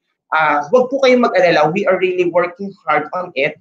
Yung mga ADM modules na yan, ginagawa po talaga. At it, once na maging ready po, makikita po natin yan na i-upload. Just be patient. Lagi ko nga pong binabanggit, patience is a virtue. At yan po ay makakatulong sa atin ngayon, sobra-sobra. So, tsaga-tsaga lang po, huwag po yung mag-alala. We are working on it. Salamat po. Naalala ko, sir, nalabagit yung cookery para ba itong Del Monte Kitchen mix? Parang gano'n bang kakalabasan yan, sir? medyo, medyo. Pero syempre, uh, pinakailangan ng ating uh, i-consider doon ay yung healthy ba talaga siya. Syempre, yung mga nutrition facts. At syempre, mali nyo, kayo yung hinahanap namin na teacher para sa cookery. Kaya, uh, ako ay nagsa-scout sa YouTube, naghahanap ako ng mga YouTuber. Uh-huh kaya ni Teacher Levin, ayan, nakakatuwa kong isipin na nagbigay po siya sa atin ng one best example at nakita natin ng unang show, Kindergarten. Garden. Napakaganda sir. Talagang nag ano siya sa ano sir. May meron lang tayong uh, follow-up regarding sa question ni ma'am. Ang sabi rito ng ating mga uh, TV teachers din, alignment sa test na dapat yung competencies para yung mga learners natin Di ba ang goal naman kasi talaga natin, yung mga learners natin, ready sila to face the challenges. So, once na nag-undergo sila ng subject na yan, expected sana sa kanila, makapasa sila ng NC, ano, NC training regulations, yung mga NC2 holder. So, ayan ang ating end goal. Our next question, sir, from Mary Jean Centeno. May format po ba na dapat sundin if ever na gusto po namin mag-contribute na module kung sakaling gusto niyo mag-contribute, hindi natin maiwasan na may ibang format eh. Just send it to us. We will format it the way we want it to be formatted sa doon sa kanyang compliance sa DepEd. Kami nang bahala doon. So if you want yeah. to contribute, siyempre meron tayong mga private schools. Nanggaling ako doon eh, sa Rizal Green Hills. Iba ang format namin kapag sinabi namin worksheets, eh kung gusto natin mag-contribute, we will um, blend it kung paano ba ang kanyang format. Basta ang kinakailangan lang namin, you have the content, you want to share it, that will be okay. Ayan. So talagang kasi di ba sir, bawat division iba-iba rin ang format. Basta mahalaga ron is, yung sabi nga ni sir, alignment sa curriculum, content, and then meron siyang mga assessment na embedded para talaga makita natin ang gustong targetin ng module na yon. So our next question. Yes, to all of our watchers, nakakakita tayo, nakikita ako ngayon ng almost 7,000 plus uh, viewers right now. Please share the news to access commons.deped.gov.ph. Try to check kung nandoon ang inyong school at kung sakaling wala doon ng school, paki-flash lang po sa screen ang ating tinyurl.com for DepEd Commons na ito po, kung sakaling hindi lumabas ang ngalan ng inyong school, please access this link para po maidagdag namin dahil gusto natin bago magsimula ang August 24 opening of classes, ang ating pong mga paaralan, mapapribado o pampubliko, pampubliko ay nailagay na po natin sa system at magamit po nila. Salamat. Siguro sir, dagdag ko lang no, based on my experience din kasi previously, di ba, nag-run tayo ng mga nagsagot ng forms na wala raw yung school nila doon sa DepEd Commons. The best way po para ma-check po natin kung nandun po tayo is gamitin po natin yung school ID po natin. Kasi yan po, unique na unique po wala po tayong kapareho. Pangalawa po, tingnan po natin yung field. Kung public, i-click po natin yung public. Kung private, private po. Kasi nakala nung iba wala, kasi private sila, pero nag-search sila sa public. So, kailangan kung public ka, public lang. Kung private, private. Yun na siguro yung ma-share ko para madali natin makita yung school natin. Use your school ID. Diniscuss naman ni Sir Mark kanina yan. Konting follow-up lang po. Ayun. Our next question. Gusto ko po mag-contribute gamit ng quizzes.com, sir. Papaano po? Okay. So, to Ma'am May Makalisang, if you want to share something like in quiz.com, that will be okay. However, uh, we encourage our uh, teachers to share downloadable materials. Bakit po downloadable? Uh, nagsimula tayo sa DepEd Commons na kalimi- karamihan ng ating nilagay ay puro po interactive links online. Hindi natin maiwasan na may mga learners tayo or mga families na talagang hirap po pagdating po sa online dahil kinakailangan nilang mag-load. So, to avoid that gap, sabi nga natin, uh, if it is possible to have it in document format. At kung siya ay nasa document format, hayaan yung kami po ang mag-convert po nun interactively. We will make it a point na ma-convert po siya interactively as long as you have indicated the answer key. Siyempre, kung walang answer, mahihirapan kami. Isosolve ba namin? But also, it will uh, run in a QA process pa rin. So, Thank yeah. you. So, thank you, Sir Mark. Our... Yes, sir.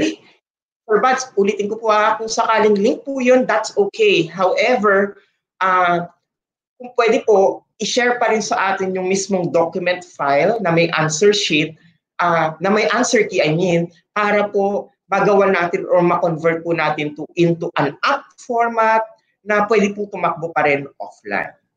Ayun. So, talagang marami tayong choices and na pwede nating isubmit ng mga learning materials. Our next question from Ma'am Marshall Coyos. I think this is from Davao. Good morning po. Ask ko lang po kung may universal module po gagamitin sa buong Pilipinas po or iba-iba by region. Sir Mark. Good question. Balikan natin ang proseso bago pa nagkaroon ng COVID buong bansa ay meron tayong tinatawag na textbook. Tama po ba? Ang textbook ay universal. Wala tayong textbook ngayon. so dahil wala tayong textbook, ang pinaka-universal ay yung module na magagaling po sa CO. Hindi natin maiiwasan na meron talaga sa baba, like sa region at division na nagpagawa din po ng module, yun po ay add-on. Tandaan, yun po ay add-on. Meron tayong universal module or ADM for all, but Below it, meron po tayong additional materials na pwede pong manggaling sa region o manggaling sa division o magaling manggaling po sa schools. Siyempre, we need to have more materials as supplementary tools. Halimbawa, kung tayo ay nabigyan ng ADM at makita po ninyo yung mismong ADM, usually it runs for about 15 pages ng mismong actual na sasagutan. Yung 15 pages po na yun, kaya po matapos yun in 2 days. Ano gagawin nila ng another 3 days kung sakaling weekly lesson? So, there should be an add-on to it. At gaya ng aking nabanggit, nagpakita po kami ngayon ng isang sample. Napanood ninyo kanina si Teacher Levine na nagde-deliver ng skill. Meron tayong tinatawag na activities. During that activity, it could also be done by the learner na bangga po sa tinatawag natin na melt. And through that, sa mga susunod na araw, ipapakita natin kung paano ang submission sa paggamit ng learning management system dahil dugtong-dugtong po ito. Ang episode natin ay tungkol sa DepEd Commons. Kaya abangan bukas ang ating episode number 2. So, eh, parang, para tayong, ano, para tayong mga series sa mga television, sa Netflix, talagang bawat segment natin ay kabang-abang kasi talagang related sila sa isa't isa. So ngayon, nag, ano lang tayo, pumundasyon lang tayo sa mga susunod iba't ibang features na ng ating DepEd Commons ang ating ipapakita. Our next question from Sir Rodel Oliva Ritual. Good morning po. Ang submitted modules po ba namin sa aming division ay pwede po namin i-share sa DepEd Commons or exclusive na po ito for our division?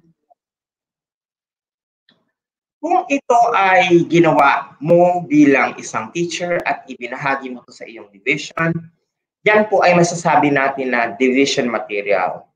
Kailangan, kung ito ay papasa natin sa DepEd Commons, it's okay. However, we will seek the approval of your division, uh, respective SDO, kung sila ba ay pumapayag na ito ang ma-post sa ating pong DepEd Commons. But again, as a teacher, you would like to to post it or share it, yes, you can share it to us. However, we will try our also our best to message your respective division offices that uh, your teacher have contributed this one to DepEd Commons. Will it be okay for us to upload it or is it only meant for the division materials only? Kasi hindi natin maiwasan na pang division lang talaga siya at hindi siya for sharing for all. Tandaan, ang OER ay open. Kaya kung ito ay papadala, kinakailangan po ay uh, nag-seek tayo ng approval sa ating division na okay lang po yun. So I hope nasagot ko po. So ayun. So talagang pwede naman pero kailangan yung follow protocol sa magkapaalam pa rin sa ating mother division. Next from Sir Ma'am Kay Therese Jimena Crismundo. Pwede po ba manghingi ng suggestions ng mga websites kung saan po tayo makakuha ng mga pictures na gagamitin? Okay. So I will demonstrate kung paano po natin nakikita ang mga pictures na ito. Actually, just in Google, it is there. Okay? So, yes. pwede ko po i-demo sa inyo kung paano po natin mahahanap yun. Okay? Allow me to share first my screen. Ito po usually ang ating pinupuntahan sa Google, google.com. Ang susunod lang po natin gagawin ay i-click natin ang images para po makita natin yung search tool na yon. Halimbawa, you are looking for a tiger. Pag ito pinuntahan natin, hindi po yan Creative Commons. Kinakailangan ang gawin niyo po, i-click ang tools at hanapin ang usage rights. Tandaan, i-click ang tools at i-click ang usage rights. Hanapin ang labeled for the use. And once you choose label for use, lahat ng pictures dyan ay free mong magagamit na hindi ka makaka-copyright. Tandaan, nasa Google lang yan. I-click ang tools, hanapin ang label for use. And I hope nakatulong po ang aking ibinahagi kung paano tayo makakahanap ng Creative Commons na mga larawan. Thank you. So, ayan sir, is that is for picture alone. So, meron din tayong tips, di ba sir, na kung paano natin siya makukuha naman sa YouTube kung saan para bang ang mangyayari ay wala na tayong iisipin na baka makopyright tayo. So sa YouTube, pwede rin natin gawin yan na isa hanapin din natin. Doon naman sa YouTube, pag nag-search po tayo, may nakalagay po na filter. And then, hanapin lang po natin yung Creative Commons. I think, uh, mamaya siguro if we have time, pwede nating ma-demo siya kung paano siya gagamitin din. Yes, sir, but mamaya later on, uh, pwede nating i-demonstrate kung paano po ginagawa yung filtering at mahanap po yung mga available pictures or available videos doon po sa ating Okay? Thank you. Sir. Thank you po. Next question from Ma'am Lourdes Simeon. Sir, ang textbooks po ay available at mga activities doon na makakatulong sa pupils ko.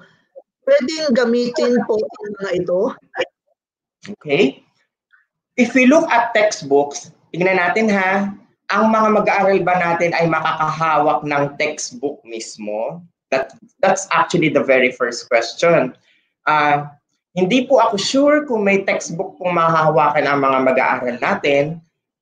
Maybe in private school, yes, there will be textbooks. Pero sa public school po, dahil tayo po ay nag-compress, meron po tayong tinatawag na MELT, na-compress ang mga competencies kaya meron tayong mga ADMs at mga worksheets. Yun po yung binabanggit pa ulit-ulit ni Sir Buds kanina na marami tayong nakikitang nagbebenta ng mga worksheets online. Okay lang yun kung marami naman ng pera, pero kung sakaling hindi naman talaga afford, bakit kailangan nating bumili at not sure tayo hindi tayo sigurado if these are actually aligned with MELT. Kasi andun po yung ating structure ngayon. So to make sure ino-offer nga po namin yung DepEd Commons na dito nyo po pwedeng makuha. Yung nga lang, hintayin lang po ninyo ang announcement kung kailan po siya magiging available. But we are making sure that it will be available anytime soon. So ayan, tsaka ano sir, ingat-ingat din tayo doon sa mga worksheets na available kasi ayan ay mga minsan mga hard mga hardbound books yan, mga workbooks na may author, baka po mamaya makopyright po tayo nung talagang creator po noon. So, yun. Ay, magbabahagi po niyan kasi marami tayong nakikita online na nagsishare ng mga Google Drive link. Remember, pag tayo ay nag-share ng Google Drive link, utilize something na hindi personal account or utilize something na hindi debit account. Kasi kunyari, nag-share ka. Yung shinare mo ay may copyright issues. Tandaan, kayang ma-check sa Google Drive yung email ng pinanggalingan. Mahirap na, makasuhan ka pa kung sakaling ang sinishare mo ay scan books ng Scholastic, scan yeah. books ng Lohil, eh malalaking mga publishing companies yun. Pag chinek yan at nahuli na ikaw ay gumagamit ng ganitong email, kayang-kaya ka pong i-monitor. So to our public school teachers, utilizing their deped.gov.ph, use that one properly, but not sharing materials which has copyright uh, issues, wag po natin gagawin yan dahil kayang i-monitor sa Google Drive link. So yan, be careful din tayo sa pag-share dahil una sa lahat, IP address lang, pwede kagad matrace yung mga nag-share ng mga information na yan. Next question. From Sir Vilando Andino Villalobos. Sir, nag-register po ako para makasali yung school namin sa DepEd Commons. May question po doon, anong division at number po daw ang need? Meron po bang code bawat division? Ang division po namin ni Batangas Province, hindi ko po alam yung number ng aming division. May code number po ba bawat division? Balikan ko lang po yung acting link ha. Okay? So, sir, baka yung school ID, yung tinutukoy ni sir ibalik ko lang po yung presentation regarding dun sa ating link kanina para po ma-explain ko po clearly. Okay? Ayan, sige. So ayan, Sir Mark will be demonstrating to us yung link na binigay para kung sakasakaling wala po tayo sa DepEd Commons, ay i-report po natin and you need to give us this information para may pasok po natin sa system. Ang atin po ay 2 to 3 days po and ayan na si Sir Mark will demonstrate to us how to report our school. Gaya ng aking nabanggit kanina, ang DepEd Commons po, kung sakaling wala po kayo doon, unang tatanungin ay ang inyong email address. Halimbawa, ikaw yung magre-report. Lagay mo lang yung email mo. Indicate your region. Halimbawa, ako ay nasa NCR. Ang division, yan po kung saan kayong division office. Halimbawa, yan ba ay Manila,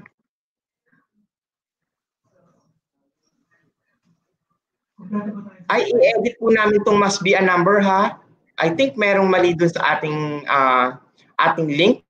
Iibahin po yung division. It should not be a number. So, I think nakuha ko na po yung message ni sir. Bakit po siya uh, may division po ba o may number? So, we need to edit that. So, maraming salamat po, sir. So, to our EdTech specialist, kindly um, check the division. Dapat hindi po siya number. Okay, salamat. And then after that, the municipality or district, and then the barangay, and then the type of school, whether it is private or public, type the complete name of the school, and then the school ID number. Usually, ang school ID number ay nakukuha ko ng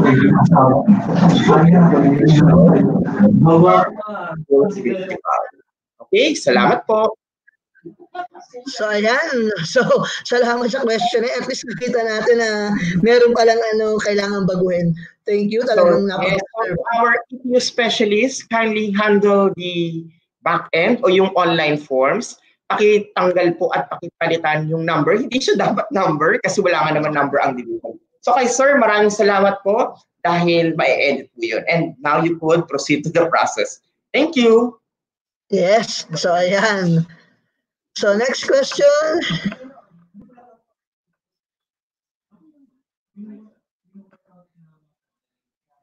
Time check, Sir Buds. We have 15 minutes to be on our session for today. So baka mamay meron magtanong na, Sir, ah, ito po ba ay may pa-certificate? Yes. Ito po ay may pa-certificate. Ang session 1 nga lamang po ay DepEd Commons. Maghintay kayo kapag nabuo yung buong session dahil meron po kaming 30 questions. Ayan, 30 questions sa LMS. Sa LMS po, ang mga tanong ay una, galing sa DepEd Commons para sa ating episode number 1. Episode number 2, medyo mahaba-haba yon dahil nakakat po siya into different portions. Yung ay tungkol sa learning management system. Next, episode, I don't know, episode 7 yon yun ay tungkol naman sa TV broadcast at ang episode, uh, ang TV broadcast ay 7 and 9, uh, 7 and, sorry, 7, 8, 9, and then yung pinaka-last po ay radio-based instruction. So yung buong po yun, 30 questions. So magandang nanonood dahil malay nyo, may mga tanong kami na nakakagulat. Kaya watch-watch lang po. Yes, so talagang tulad na sinabi natin, no, dati inaabangan nyo kayo mag-distribute ng certificate. Ngayon, nasa inyong mga kamay kung gaano kabilis nyo makukuha ang inyong certificate. Tulad na sabi ni Sir Mark, it is not a per episode makakuha ng certificate. So it's a full package nung session and season na ating i-discuss. So I hope malinaw po yan sa atin sa paraan na pagkuha po ng ating certificates. Time check, we only have 12 minutes. So I think pwede pa tayo mag-cater ng mga tanong. Yes, sir. Parang may lumabas kanina na question. Yes, sir.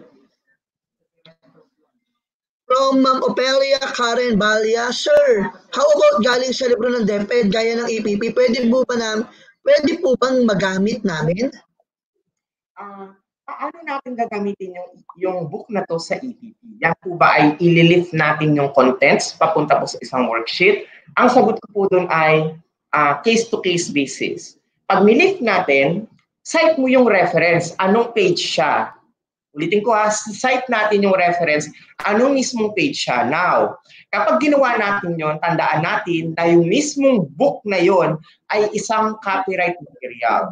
So, kinakailangan pa natin siyang i-verify kung pwede yon. However, ang aking suggestion, let's create materials na it's really original, but lifting it, just cite. If we cite it, siguro naman, uh, hindi naman masakit na i-cite natin yung portion. Huwag naman yung buong libro ang kukopen. Or a certain portion may do, but we need to indicate what page. Total yan po ay nasa DepEd naman na, di ba? Just cite yes. it. Kami na po ang bahala mag-coordinate po sa ating mga partners sa BLR and also sa legal kung ito ba ay pwedeng i-upload. Kung sakaling pwede, that's good. Kung hindi, then we will reply on to you sasabihin namin, sasabihin namin, ma'am, pasensya na po but we need to follow. Kasi according po sa ganito, ay not ito natin na dapat gawin. So, makakarinig po kayo sa amin ng ganong mga reply from uh, if needed po. Okay? Tsaka di ba sir, nagkakaroon tayo ng session sa bawat division regarding sa ating intellectual property rights na talagang kailangan na kailangan nating isaalang-alang in everything that we do. Kung mag-lift tayo ng story, tulad na sabi ni Sir Mark, i-cite natin yung page number yung libro para wala tayong magiging problema. Our next question, I like the name, Mr. Michael Angelo Garcia. Good morning. Ask ko lang po na before mag-contribute, need po po bang i-QA sa QA team ng school or mag-ask ng permission sa school na mag-contribute sa DepEd Commons? Thank you po. As courtesy, importante na i-mention mo sa school head mo. Ma'am, magpapasa po ako, magko-contribute po ako. Ito po yung aking kagamitan. Now, is it going to be QA first? Nasa sa inyo kung i-QA yan. Pero highly suggested kung ma-QA po sa school level ninyo, division or regional level bago maipasa. Dahil pagdating po sa amin, hindi po namin yan agad-agad i-upload. I-re-review talaga namin yan. At alam niya ni Ma'am Norilyn, yung binigyan ko ng sample kanina, yung pang kinder, ay nangyari po noon, kinuwento ko talaga, no, sa Facebook, nagpadala siya. Ang sabi ko, Ma'am, ito yung spot na kailangan mong i-edit ito palitan mo, ito palitan mo, ito palitan mo. Ganun po ang aming conversation hanggang sa mapalis siya. At sabi nga niya, Sir, thank you po. Kasi yung kanyang material ay na-QA. O uh, ang nangyari, QA, yun ngayon ang ginamit nila. So, hello po. Ayan. So, we will help you in quality assure, in uh, having quality assurance of your materials. Sabi nga ni Ma'am Norilyn sa akin, Sir, napaganda ko yung ano, yung materials ko. So, we are very generous with that. Huwag kayo mag-alala. Nandito po kami to help and assist. So napakagandang mindset sir no, yung kay Ma'am Noralie na talagang na-appreciate niya na talagang gumanda kasi tandaan natin quality assurance talagang kailangan siya not to find yung pagkakamali dun sa module but to improve it para mas maging maganda siya. It should be constructivist in approach. So yun ang lagi natin iisipin. Huwag tayo may hiya pag halimbawa na-correct tayo. Lalo na sa lahat para sa ikabubuti natin yan. I think last two question tayo, Sir Mark. Yes. So last two questions. Kung sakaling hindi po namin masagot ang inyong tanong, mangyari lamang na pwede nyo pong uh, i-post yan at kami po ay gagawa ng FAQ para po uh, yung general question ng marami ay mahanap po namin, gagawin po namin within the day. At sa mga nagsasabi, bakit parang umiksi ang inyong session? Tandaan, ito pong session na ito ay ginagawa na namin per episode dahil mapapanood din po siya sa TV. Kaya half day, half day. Anong gagawin namin the other half day? Ako, tedious po ang gagawin namin dahil kami ay magkakaroon ng recording session.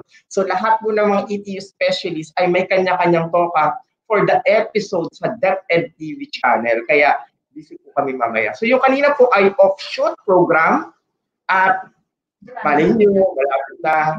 Ayan. Ayan.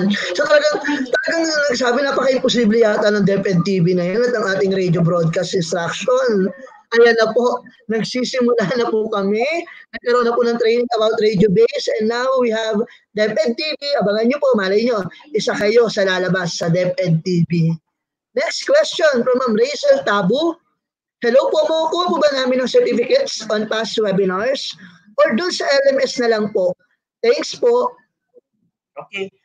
Starting our June session, lahat ng June session ay nakalagay na po sa ating Learning Management System o sa Professional Development LMS. Yung ating pong past webinars ng April and May, gaya ng uh, nabanggit kagabi sa ETU Musta, yan po ay target na maibigay, buong bukas servants, eh. yan po ay target na maibigay this week. So, this week po ang bigay ng remaining certificates. Ayan. Yeah. So, pero yung mga current po, like June session natin, yung July session, nasa PDLMS na po natin makikita. Yan, kayo na po nakasalalay. Sa inyo po nakasalalay kung kailan yung kumukuha ang certificate at lagi natandaan, hindi po ito open time para computer shop na gusto natin ma-extend, extended. No. Nagkakaroon tayo ng extension pag nagkakaroon ng maintenance ang ating site. And I think meron na tayong mga previous webinars na nag-close na po yung pagsasagot po natin. So, yun po ang mga... Kasi baka iba iniisip nila, ay, andyan lang naman yan, pwede lang sa susunod na lang. Meron po tayong deadline na kailangan i-beat. Last question for this session.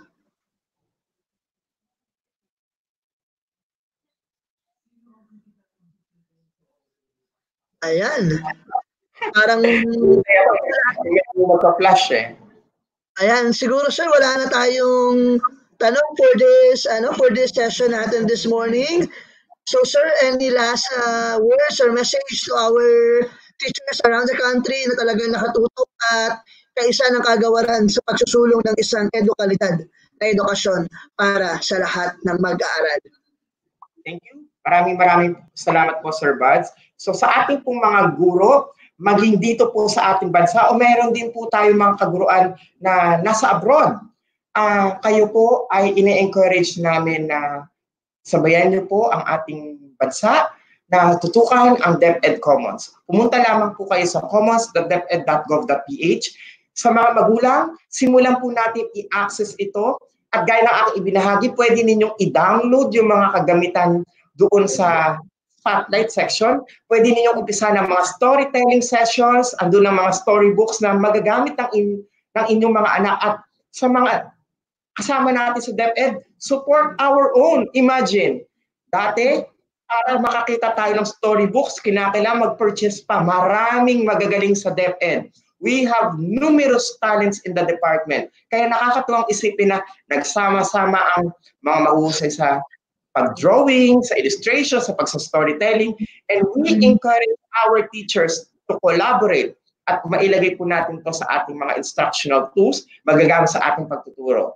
Kaya, sa mga manonood naman natin ng mga kabataan, Access DepEd Commons, gusto niyo magkaroon ng advanced review, doon po, punta lang po kayo sa spotlight section At abang-abangan lang po natin na i-upload po namin unti-unti yung ating pong mga kagamitan this opening, this coming school year, yung pang first quarter. At sa mga magulang na nag-aalilangan pa rin kung paano gagawin ito ng DepEd, abang-abang po tayo sa mga susunod pang episode ng ipapalabas po ng Educational Technology Unit dahil ang professional development program na ito ay hindi lamang para sa mga guro, ito rin ay para sa mga magulang at mga mag-aaral. Kaya, let's access DepEd Commons. We go to commons.deped.gov.ph. Maraming maraming salamat po. Umpisa po natin ang pag-access dahil makakatulong ang sama-sama nating bayanihan sa pagpunta po rito to make it stable. Tandaan, we have monitored 8 million subscribers or users in this platform. I-try kaya natin na magsabay-sabay tayo. We, um, as we have before, like 45,000 teachers all at the same time, bumagsak ang isang international server. Subukan natin ngayon yung commons.deped.gov.ph.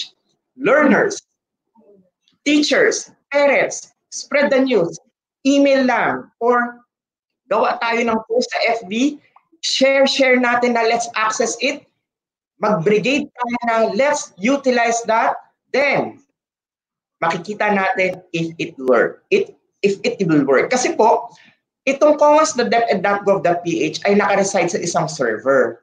Pag nag-access ang lahat ng user sabay-sabay, kinakailangan makita natin kung kaya niyang isupport. So, when you access it, please download materials, not just only the links. Download the materials para masubukan po natin yung server na ito. So, later on, I'll be posting something in my FB page. The EdTech unit will also post something. Share it. Tandaan, our target for the day, let's have the access in commons.ed.gov.ph.